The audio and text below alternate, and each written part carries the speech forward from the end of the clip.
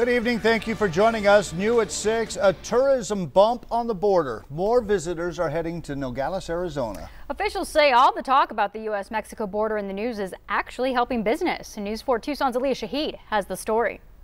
Tourism is doing great right now. The January numbers had been phenomenal. Olivia Ainza is the president of the Nogales Santa Cruz County Chamber of Commerce. She says the visitor center saw 785 tourists this past January compared to around 500 that time last year. They come and ask about how is the wall? Where is it being built?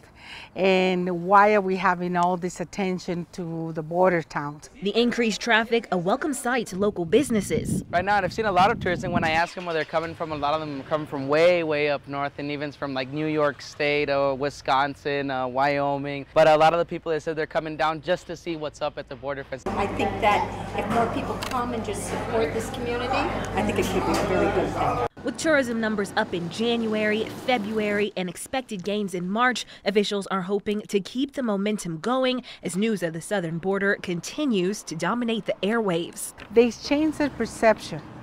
The expectation that they come is like this is going to be like a war zone. When they leave Nogales, they take a lot of the culture, the people, the weather, and how peaceful we are living in Nogales, Arizona. In Nogales, Aaliyah Shahid, News 4 Tucson.